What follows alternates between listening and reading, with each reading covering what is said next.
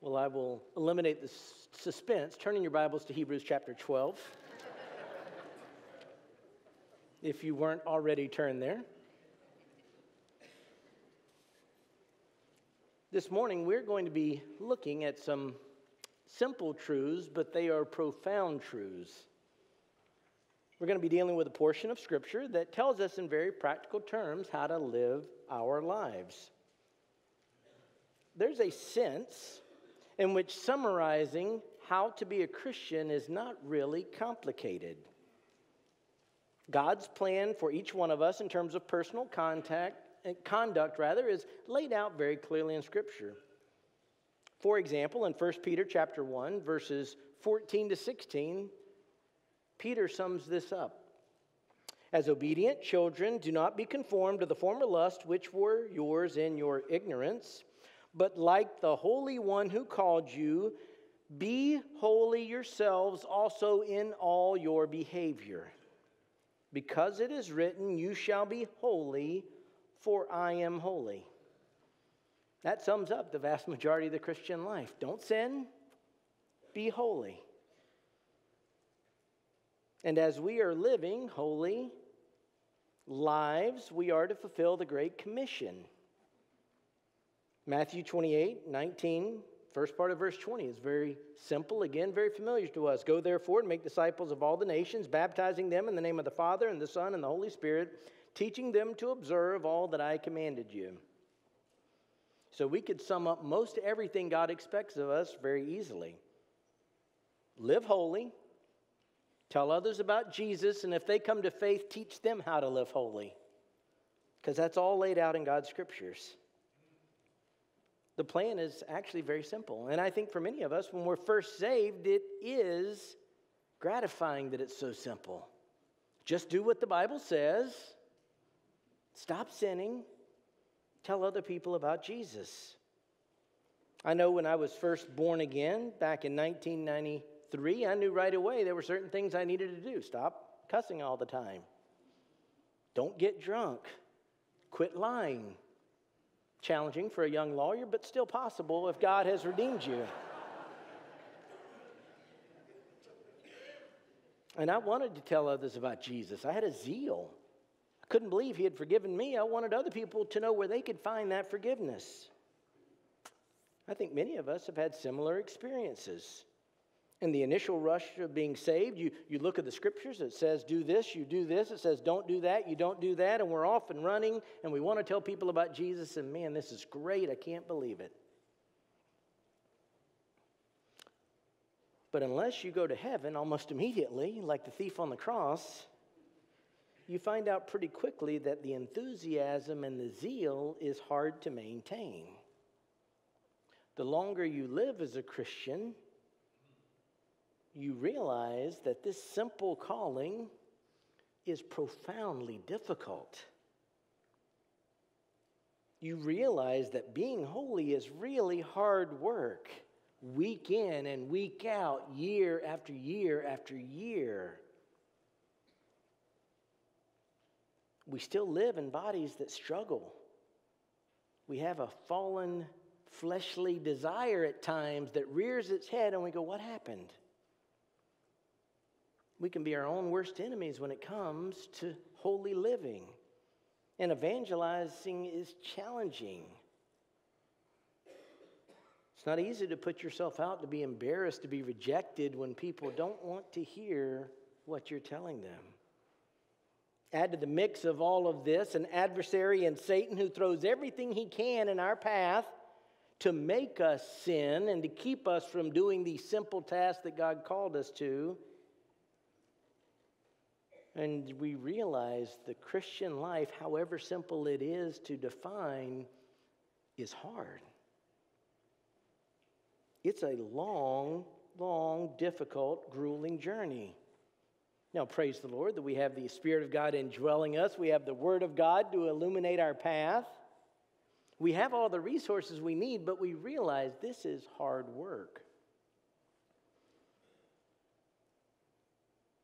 I don't think it's accidental that quite often, when the Bible uses word pictures to portray the Christian life, there are numerous places where it pictures the Christian life like an athletic contest. I'm not going to read the scripture just for time's sake, but for example, in 1 Corinthians chapter 9, verse 24 and following, Paul equates it to a running race. He even talks about boxing. Galatians 5 7, talking about the Christian life, he said, You were running well. It's this athletic theme.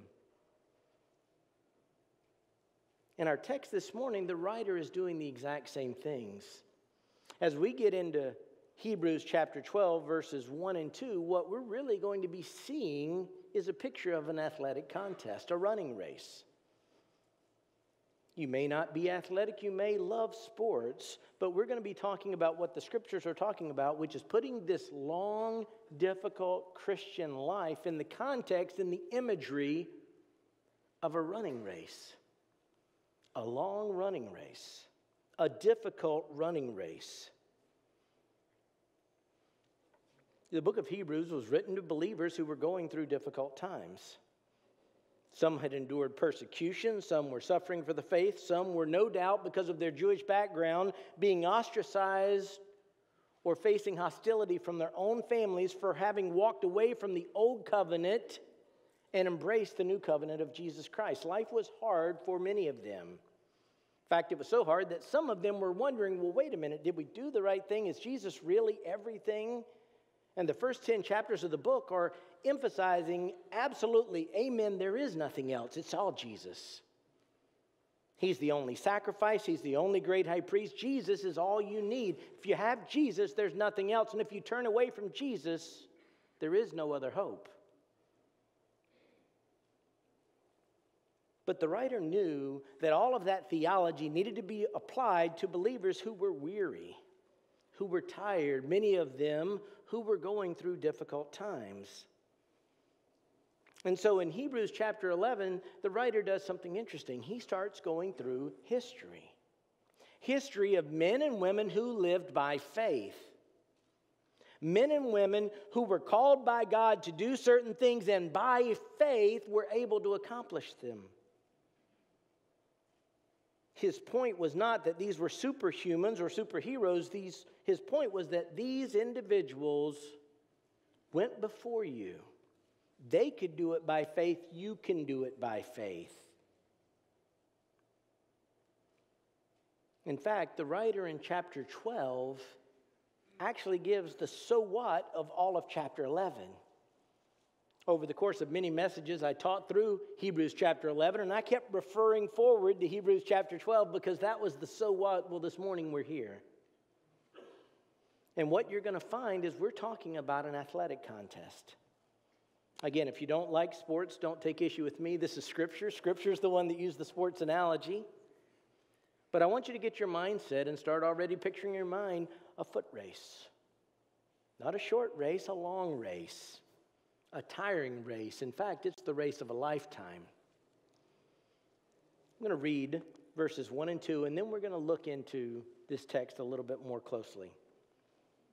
Therefore, since we have so great a cloud of witnesses surrounding us, let us lay aside every encumbrance and the sin which so easily entangles us, and let us run with endurance the race that is set before us, fixing our eyes on Jesus, the author and perfecter of faith, who for the joy set before him endured the cross, despising the shame, and has sat down at the right hand of the throne of God.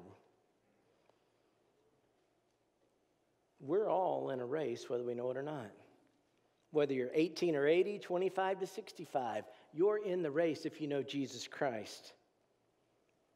And so this morning, as I use the terminology and the language of the scriptures that paints this picture of our Christian lives, I've got a relatively simple outline that flows from the text. These are four steps to prepare to run the race of a lifetime. Four steps to prepare to run the race of a lifetime. And the first step is this Study the example of saints who have run before. Study the example of saints who have run before. Verse 1 says, Therefore, since we have so great a cloud of witnesses surrounding us, therefore is the direct tie in to all of chapter 11. These individuals who, by faith, by faith, by faith, did remarkable things. Again, these were not superhumans, these were not superheroes, these were just flesh and blood people, just like you and I are. But by faith, they were able to keep pressing forward. And he describes all of those individuals that were in this great hall of faith as a cloud of witnesses surrounding us. Now, the terminology of cloud, I read from the New American Standard, it, it just really has to do with a numerical number. It's not causing us to look up, it's not some literal cloud surrounding us. It's just a picture to us of the great number of men and women who have run the race before them who are going to be an example to us as we run the race that God sets before us. Read a lot about the imagery here and the application and the, the historical context. And athletic contests at that time, in some respects, were very similar to athletic contests today, in the sense of there were stadiums where if you were an athlete, you'd be surrounded by the people. I think most of us have seen the Colosseum of, in Rome, even if we haven't seen it in person, we've seen it on TV. But we see the imagery all around us now. All over the country today, people are filling up football stadiums. They were doing it yesterday. And if it's hockey season, they're filling up arenas, and baseball, they're filling up stadiums. Around the world, people pile into stadiums to watch athletic contests. And there's something of the imagery here. Now, the, the writer is not saying that all of these people are up in heaven watching us as though they're spectators for our race. But what he is saying is, is in a symbolic way, we have a lot of people who have gone before us that we can draw strength from. We can be encouraged. As we're looking far in the distance and we see the finish line and we think, can we make it? We're surrounded by people who could say, absolutely, you can. They're the example for us, they're surrounding us. Anytime you have something like this, the analogies are always imperfect. But I read one that I thought at least conveyed something of the idea that the author is trying to suggest. And he, the writer, the commentator I was looking at, put it in the context of like a, a relay race. If you've ever watched the Olympics or any other type of track and field event, you know that people run their leg of the race and they hand the baton off but they don't go home. They're standing there and they're cheering on their teammates. And there's a sense in which we today are the recipients of a baton from countless generations behind us. And what we know because we are here is that we can do what they did. There are others that have run the race that we have in front of us. They've completed the course. The whole point of this is to be encouraging to us. We're not supposed to look at them and feel bad because of how slow we run or how imperfect our running is. And we're not supposed to try and outdo the saints of old or one another. It's an interesting part about this race as we build the analogy and as the picture is laid out, this isn't the type of race where we're trying to beat each other. The goal isn't to be first, the goal is to finish. In fact, that's one of the beauties of the body of Christ. We help one another get to the finish line. Here's where this comes into play breaking it out of just the picture and pulling it down in the reality of, I'm telling you from Scripture, you're in a race. We're going to talk a little bit more about it, but sometimes it's hard to run. Life is difficult, people die. Unfair things happen to us. There are men and women of faith in Hebrews of chapter 11 that were very successful and they had great deliverance, but there were also people who know what it was to suffer. Look up into chapter 11. I'm going to start reading partway through verse 35. But if your circumstances are such that today you don't feel like moving forward, I'm going to tell you others who have been in worse circumstances can do it, so can you. And others were tortured, not accepting their release so that they might obtain a better resurrection. resurrection. And others experienced mockings and scourgings. Yes, also chains and imprisonment. Verse 37 they were stoned, they were sawn in two, they were tempted, they were put to death with the sword. They went about in sheepskins and goatskins, being destitute, afflicted, ill treated. Men of whom the world was not worthy, wandering in deserts and mountains and caves and the hole in the ground. That's part of the cloud of witnesses. It's not just people who everything went well, it's people who hurt and suffered and had nothing. Most of us haven't endured that. If you're here, you haven't been sawn in two, you haven't been put to death with the sword. Most of us haven't been imprisoned for our faith. But here's the point no matter what is going on, you can keep moving forward. That's what the cloud of witnesses says. And so, if today you're discouraged and you're downtrodden and you're tired, let me encourage you keep going. Be encouraged by those faithful saints who completed the course. And remember, it's not always about what you see. Hebrews 11:1 1, Now faith is the assurance of things hoped for, the conviction of things not seen. Remember in this race we're going to be walking by faith, not by sight. You may not see today how you can keep going. Have faith that you can. Four steps to prepare to run the race of a lifetime. The first step, study the example of saints who have run before. Number two, make sure you are properly prepared to run. Make sure you are properly prepared to run. This transitions from looking backwards at or around us at all the others and looking in the mirror. 12:1 Therefore since we have so great a cloud of witnesses surrounding us let us lay aside every encumbrance and the sin which so easily entangles us as we look at our lives and we look at what the Lord calls our lives. As I indicated, it's painted in Scripture as a running race. We need to prepare ourselves for the race. It says, Let us lay aside every encumbrance and the sin which so easily entangles us. Let us lay aside every encumbrance is really about putting off excess weight.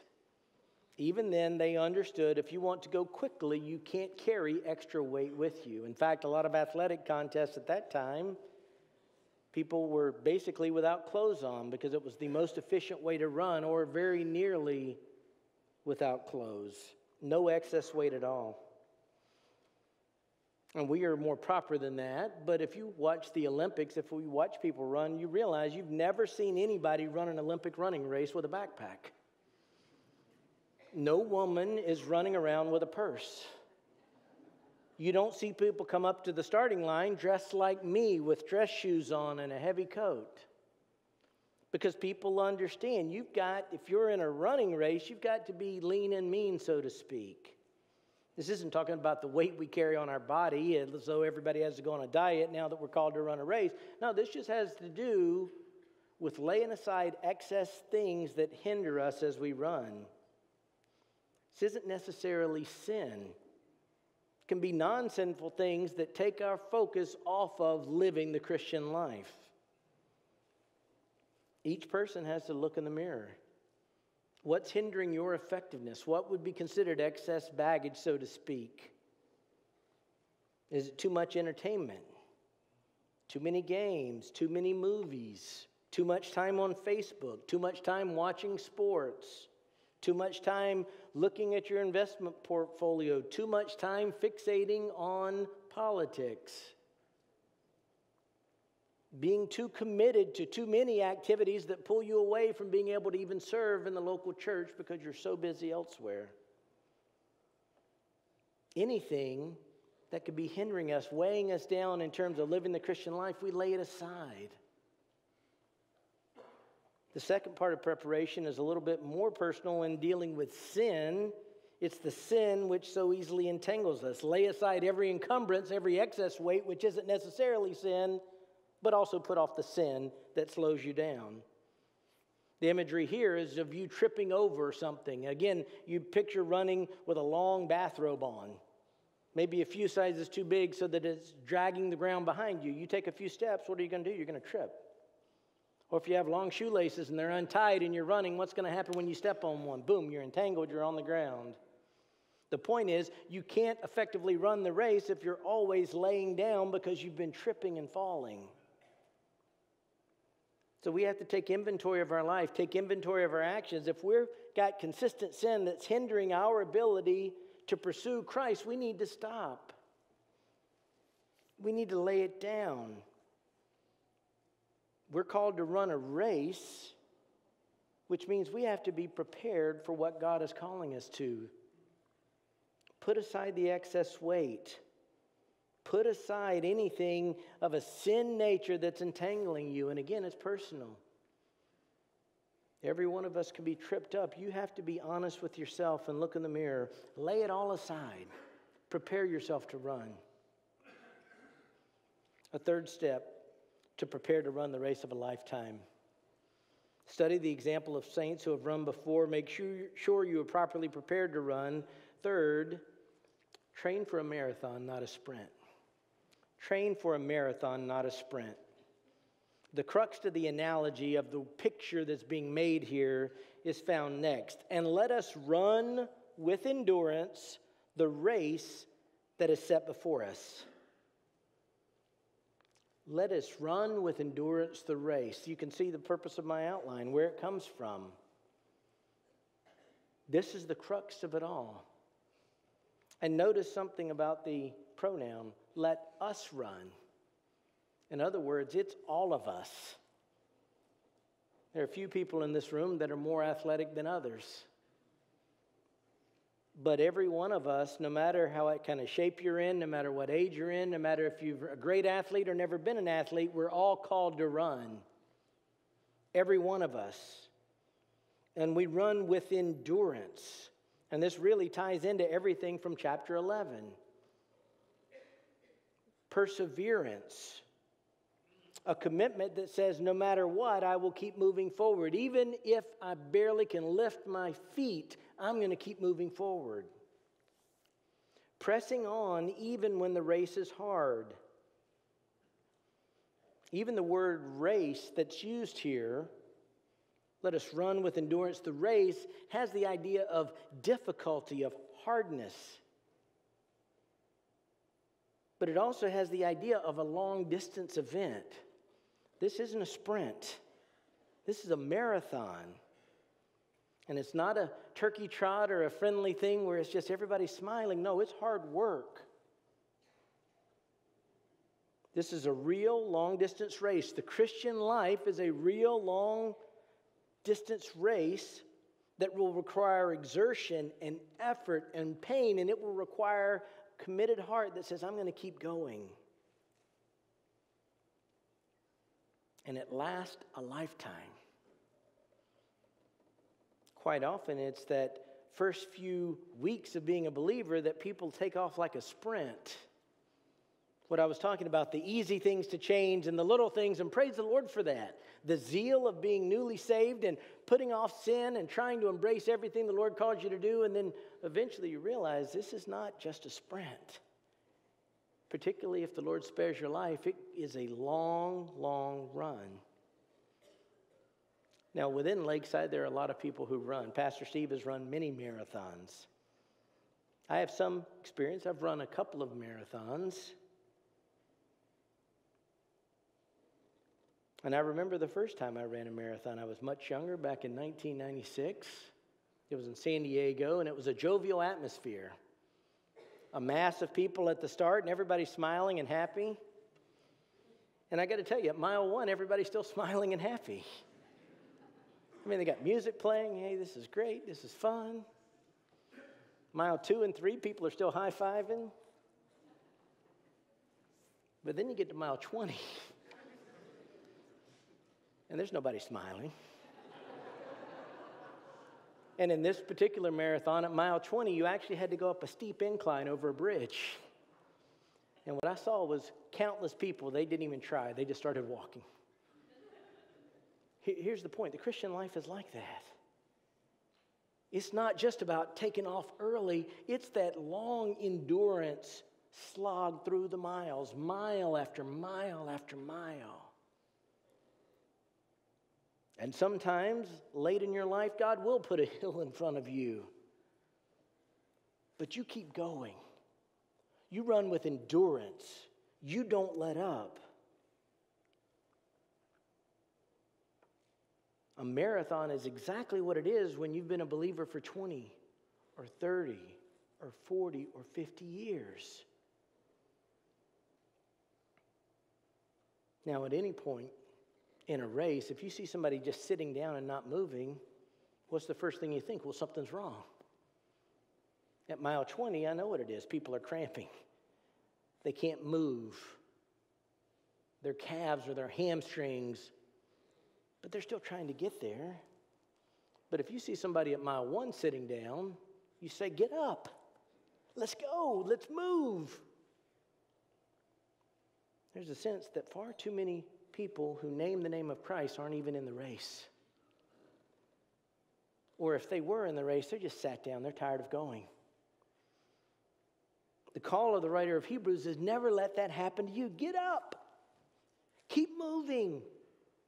If there's a 10 mile hill in front of you, put one foot in front of the other. The Lord's going to get you there. Keep going.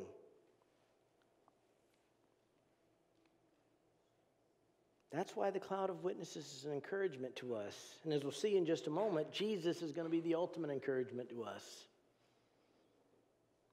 But I want to highlight something about this, and it's very important. Let us run with endurance the race that is set before us. Here's what I want to emphasize, because I want you to think about this. God is the one that puts the race in front of you. We're all in a race. God makes a different course for each one of us. We all have a bad habit of comparing ourselves to other people, of looking over there and saying, I wish I had what they had. Here's the point God gave you a course to run, you run your race. God puts the markers out for you. You follow what God sets out for you, and you trust that He's the one that put it in front of you. You need endurance. Every one of us has different challenges. Some of us, our running course does look like a smooth, flat highway, and you praise the Lord for those times. But some people wind up having to run through the mud, or they do have to run through the briar patch, or up hills, or climb hurdles. Whatever the course, God puts it in front of you. Don't spend your time looking about however other people have to run. You follow your course. And take comfort knowing that God put it in front of you. And remember this we're walking by faith, not by sight. Before I ran the marathon, I could go online and I could look at the exact course. I could map it out all around San Diego. I used to live there, I knew the streets. It's not that way in the Christian walk. Because at mile five, you don't know what God has for you at mile 17. Because we're walking by faith, not by sight. Brings us to our last point four steps to prepare to run the race of a lifetime. Study the example of saints who have run before. Make sure you're properly prepared to run. Train for a marathon, not a sprint. Focus your eyes on Jesus. Number two says it clearly fixing our eyes on Jesus, the author and perfecter of faith, who for the joy set before him endured the cross, despising the shame, and has sat down at the right hand of the throne of God. This really sums up how we run. We have to constantly keep in mind Jesus and what he did.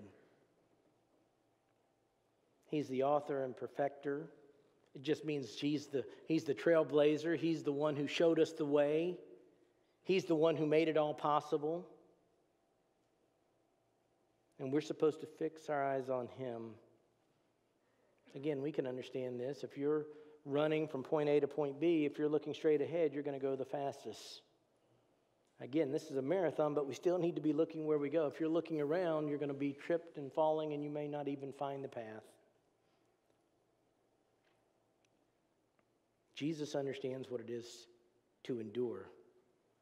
The race set before him was harder than anything we could ever imagine. It culminated in his unjust murder, where he bore the full wrath of God poured out on sin.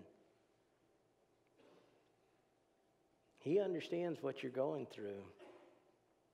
Hebrews 4:15 For we do not have a high priest who cannot sympathize with our weaknesses, but one who has been tempted in all things as we are, yet without sin. When you're running, you're fixing your eyes on him.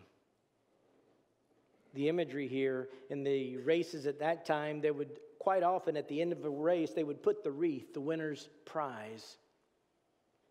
And Jesus is pictured as looking beyond his personal circumstances of the pain he was going to endure, and he saw the joy set before him when he would be raised from the dead, when he would be seated at the right hand of God.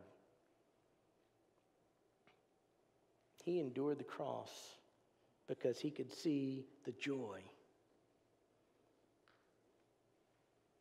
He knew it was hard. He prayed in the garden, Lord, if it's possible, let this cup pass. But it wasn't possible. And he said, Not my will, but your will.